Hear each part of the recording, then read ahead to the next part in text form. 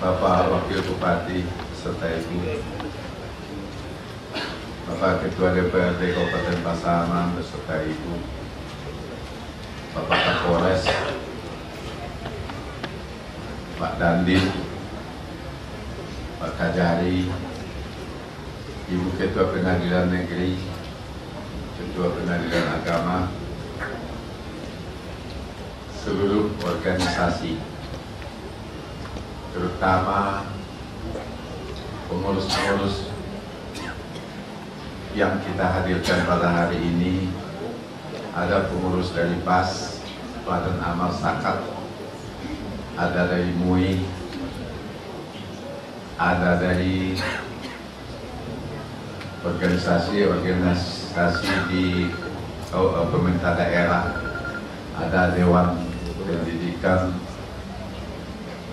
ada PT Ekuator, kemudian ibu-ibu ketua dan pengurus PKK, Dharma Wanita, DOE, dan semua keluarga besar Yusuf Lubis, dan kemudian keluarga besar dari istriku tercinta, Ajah Suryani, Bastion,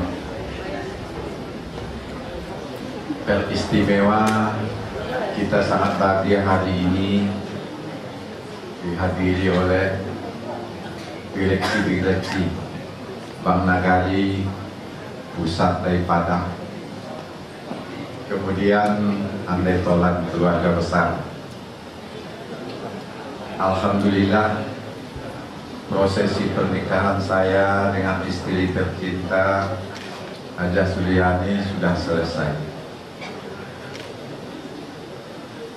Untuk kita maklumi bersama Haja Suryani adalah 20 tahun yang lalu ditinggalkan meninggal dunia abang kandung saya Kamal Lubis sekarang ada anak saya dua orang yaitu putra dan putri. Kemudian saya setelah perkawinan yang ajak Gustina Siregar almarhumah baru enam bulan. Dengan anak saya tiga Doli sudah berkeluarga dan sudah bersusu Vera Susanti dan Tondi. Saya minta pada hari ini anak kandung saya yang lima orang berdiri.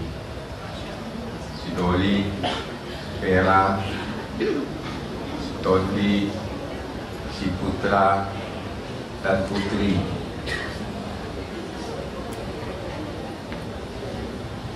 supaya tahu kita semua bahwa kini anak kandung awak telah limo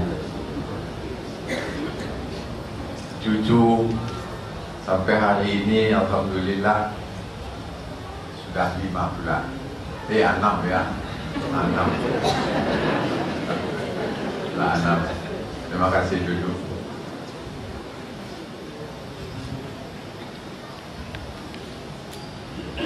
dulu saya manggil selama dua tahun, 20 tahun ini kakak.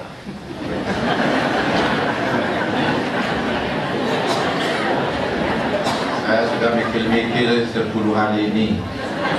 Karena prosesnya hanya 10 hari. Apalah kadimo nanti. Jadi setelah awak baca tadi apa tu yuk istri tercinta Nah mungkin kakak lah ya Dan Adinda pun tak boleh Karena menurut adat Mandailing Apalagi Tapanuli Kalau istri abang kandung saya dulu Harus kakak sampai kapan pun. Tapi karena mulai hari ini istri Jadi istri lah. Kalau dulu kakak manggil saya Papa Doli Kalau itu masih bisa.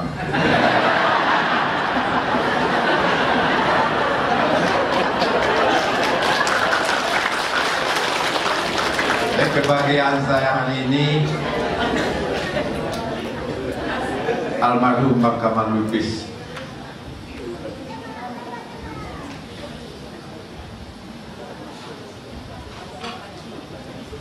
minta maaf bang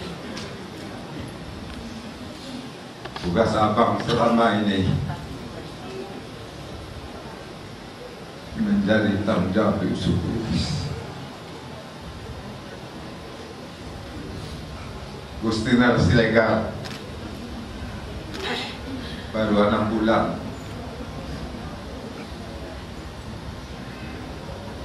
Tugas Gustina Silegar digantikan oleh istri tercinta. Suryani. Mudah-mudahan keluarga ini tidak akan merubah karena selama ini juga putra dan putri tanggung jawab saya. Selama ini juga Doli, Dondi, Vera memang tanggung jawab istriku tercinta sekarang oleh karena itu tambah ringanlah beban saya dan tambah ringanlah beban istriku tercinta. Ini perlu saya sampaikan khusus untuk anak-anak saya. Anak-anak Bang Kamal Lubis sekarang sudah satu kembali. Bapak dan Ibu yang hadir, terima kasih. Ikola otomatis barale ibu barale kadang no.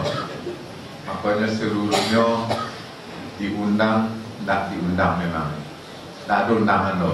ini hanya seolah-olah pemberitahuan yang dibuat oleh Bapak Sekda sebagai itu angket nanti si pangkal oleh karena itu Bapak dan Ibu keluarga besar kalau tidak ada undangan tapi lah datang terima kasih banyak. Mudah-mudahan itu adalah menambah doa kita seluruhnya untuk kami dan istri istri Kokate akan bertambah iman dan takwa. Insyaallah itu seluruhnya tidak akan berubah keluarganya laban iko dari hidup sampai insyaallah itu berpulang terima kasih mohon maaf. Wabillahi taufiq wal hidayah. Wassalamualaikum warahmatullahi wabarakatuh